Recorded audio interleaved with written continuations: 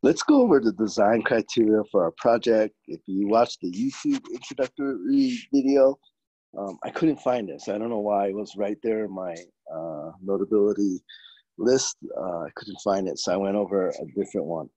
This is uh, what I did for submittal one.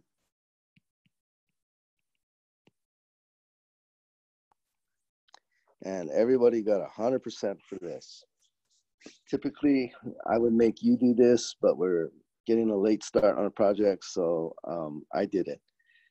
When you take a senior design class, you do make these, and I just saw a few of these. They just had their, I think, 15% submittal last week, and and and uh, they're supposed to uh, turn these sorts of things in. So if you're in that class and you're doing the buildings, you should turn in something like this. Okay, here are the design criteria that I uh, put together for our project. I, I, went on Google, I looked up Lincoln, Nebraska, and it turns out that in Lincoln, they're using the 2012 IBC. And they did have amendments to it, which I really didn't read. Uh, our building is a medical outpatient building. I talked about this in the YouTube video on uh, the introduction. And we have a category two building, which is a, just a normal building. It is an outpatient building, but there, we don't have any patients that are immobile, so that doesn't trigger the special hazardous building category three. And because it's category two, all our importance factors when we calculate loads are 1.0. Okay, here are floor live loads. Um, um, I came up with 100 PSF in the lobby. I decided that I think I read somewhere in ASCE 7 that corridor on the first floor is 100 PSF, which doesn't matter. That's not a floor we're designing, that's on the ground. So 80 PSF. Offices I got were 50 PSF and 50 PSF partition. Stairs and landing these are just all things I, I read in uh, the ASCE 7 and IBC code. Stairs and landings, 100 PSF. Uh, HVAC rooms, 150 PSF. I did say light storage. Okay, so there's 100 PSF for light storage, and a flat roof has 20 PSF live load. Um, roof loads, uh, snow loads are 30 PSF, but let me explain the building again. So we have the building, and we do have uh, some HVAC units on the roof that have a certain weight. Um, they're on the drawing, and you don't want snow to get on that. So I said what we were gonna do is build trusses on top of the building to protect that from the snow. And so there's the snow. Can you see that snow load is not going on the actual roof we're designing? Instead, that snow load is going to go on these beams on the edge here as reactions to the truss. Okay, but you still need to know that if you're designing the girders on the roof because you're going to get this snow load. Okay. Uh, and then there's a snow load, and you took 3,200. You, need to know all this kind of stuff to get the actual snow load. Uh, the wind load criteria are all here. We're not doing wind load in our project, but if, you're taking 4900, uh, you have to know these things and know how to calculate wind loads. Um, I know one of you, uh, I owe uh, look over at your wind load calculations. I'll get to that after I finish all these project videos. Seismic load criteria, I totally skipped this. I didn't talk about it. Um, I think in your 4900 class you talk about it, but um, yeah, I'm just not even going to talk about it. Maybe some other time. The foundation criteria. Um, I'm I so I'm predicting the future. I'm going to write you a geotech report, which I haven't done. Um, so this little geotech report, um, uh, I'm going to make up, and what it's going to say is that the bearing pressure of the soil is 3,300 PSF. And if it doesn't, I messed up the geotech report. I do want you to use these numbers. Uh, looked up the code uh, in Lincoln. Uh, it says that their frost depth is three feet. And so here's your ground, and this will um, uh, this will come into play when we do the foundation design. So here's your ground. So by the way, if you need to draw ground hatching, this is the easiest way to do it. Okay, so there's the ground, and 36 inches.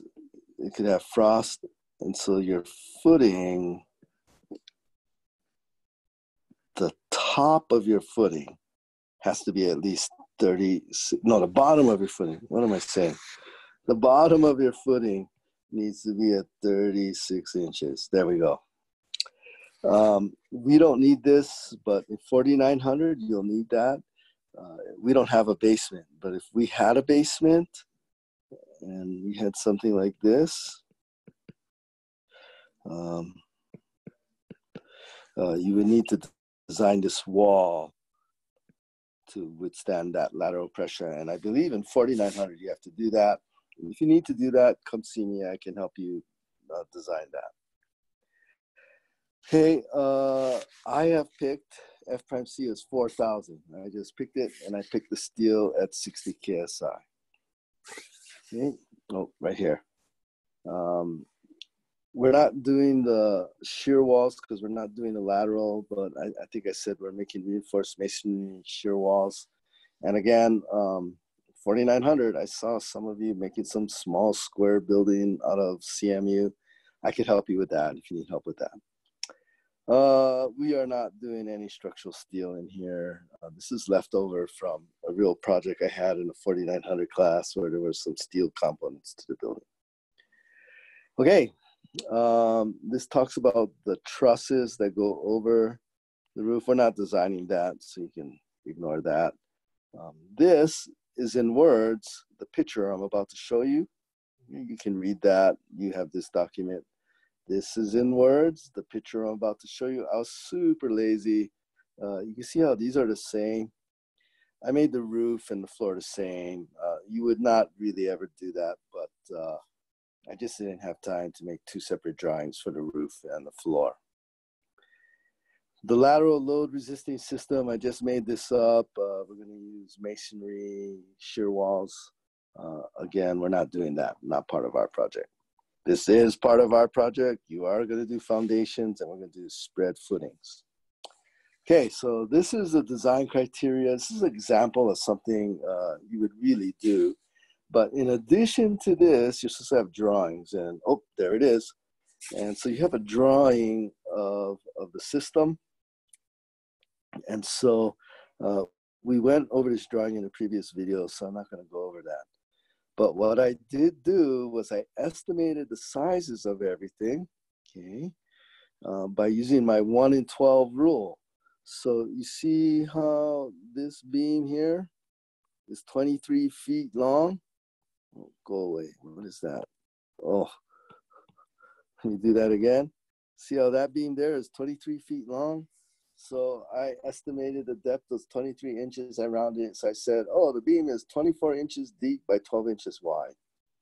Um, I estimated this 35 feet long. Oh, 36 inches deep, 18 inches wide. And then I totally guessed this um, just to be the same width as the girder. So I said 18 by 18. Okay, so you can see those guesses. Um, oh, and then uh, I'll talk about how to design the thickness of the slab. It's super easy, but I came up with five inches thick. So um, you can see that here. So I said uh, roughly a five inch slab, 12 inch by 24 inch beams, and 18 inch by 36 girders and 18 inch square columns. We'll see how good a guesser I am if the if everything comes out that big. But you saw it took me like three minutes to come up with those sizes.